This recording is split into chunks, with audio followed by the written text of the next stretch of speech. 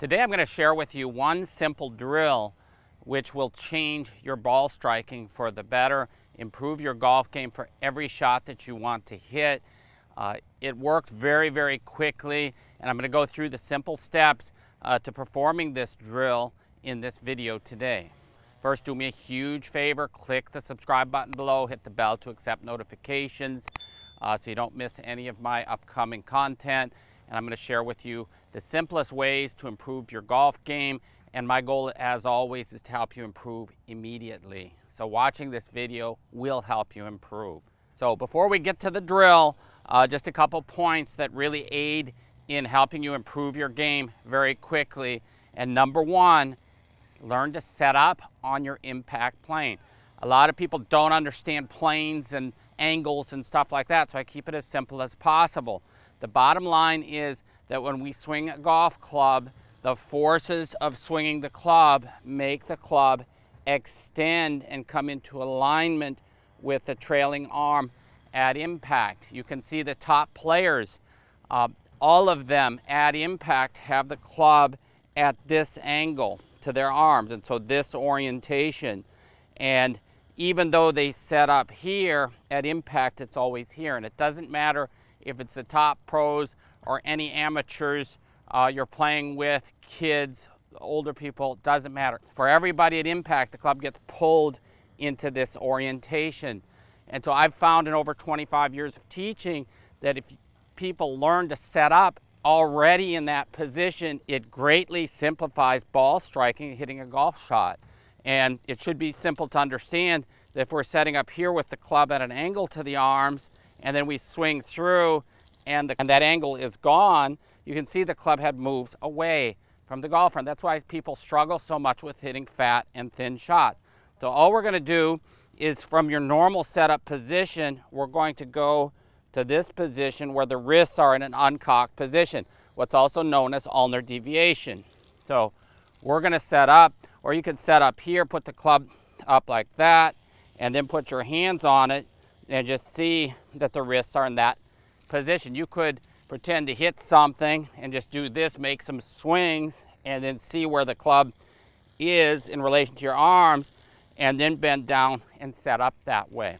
We'll also adjust the hand position on the grip to fit each individual golfer. And so my method is called Setup for Impact and I have a complete learning system available on my website and also a membership that allows people to send in videos for my review.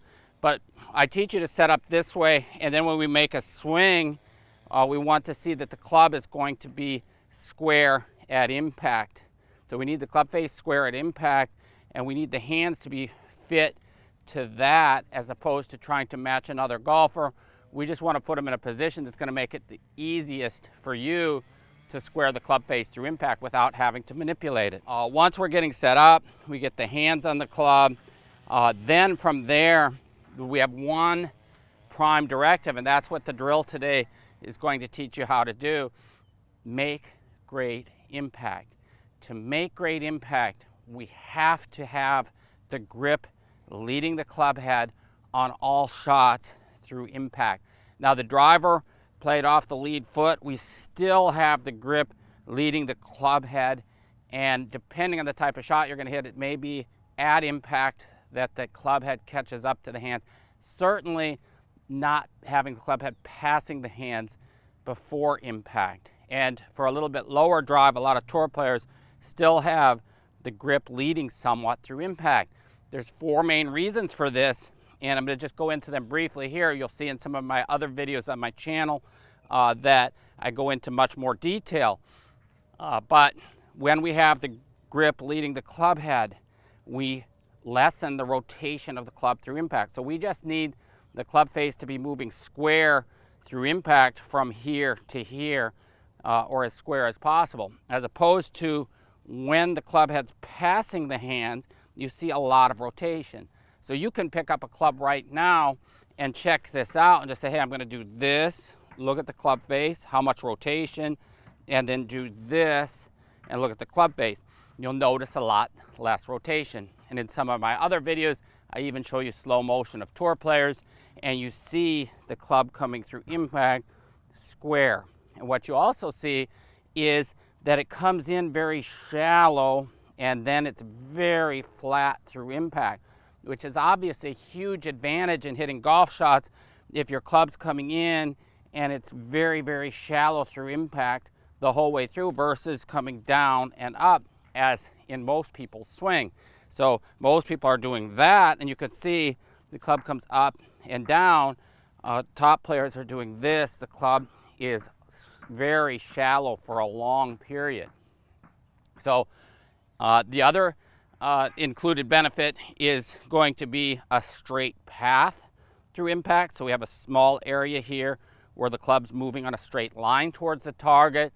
And the fourth is centeredness of contact. You could put a ball on a countertop and hold the club like this, and you'll see the ball uh, would be making contact very low on the face, tilt the grip forward, and then it's in the middle. So obviously if you're hitting an iron shot from a tee, uh, it's not going to matter as much, but think of the other three factors of having the face square through impact, the shallow flat spot, uh, and the straight line, obviously all critically important. In order to learn that, this drill, if you do this five minutes for, per day, you're going to greatly improve your ball striking. So what I highly recommend is first learning to move the golf club here from here to here. So from your trailing foot to your leading foot, using your body and making sure that the legs are straightening and the hips and upper torso are rotated through impact. So something like that. And what I would just have you do is do this for five minutes a day, just moving the club that way to see it's a straight line. You could slow it down and see it's a square face. The club face is square. It's a nice shallow impact. It's first making contact with the ground uh, at the ball and then beyond. Uh, as for hitting the center of the face, we need to find our distance from the ball. And so you could see where the club head is passing through impact and then put the ball in that position and then make the same motion.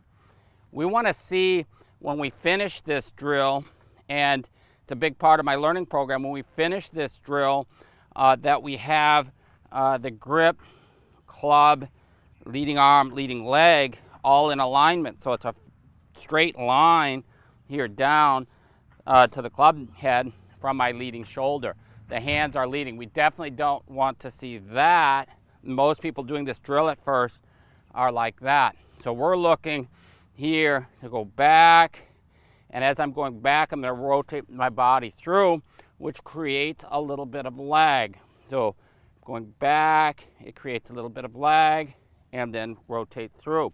So you may have to slow this down into parts. I have some additional drills built off of this uh, where we're using uh, the trail arm only, the lead arm only. But for you do-it-yourselfers out there, uh, just focus on impact, moving the club properly through, uh, checking to see that the hands are leading, moving very slowly first, and that we're getting to our impact position here with our body. Then once you do this five minutes a day for a while, when you go out uh, to the range or you're able to hit some balls with it, make two practice swings and then go to the ball.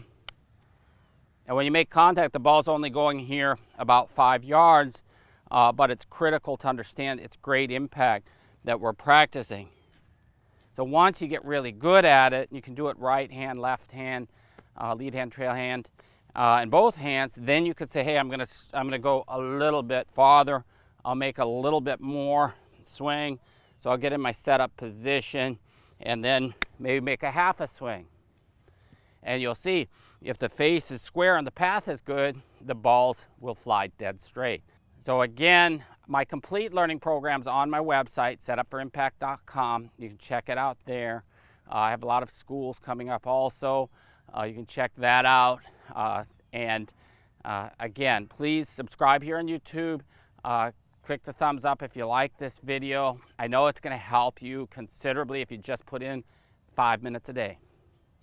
Thanks very much for watching. Again, let me know any questions or comments. Pop them in the box below. Hope you have a great day.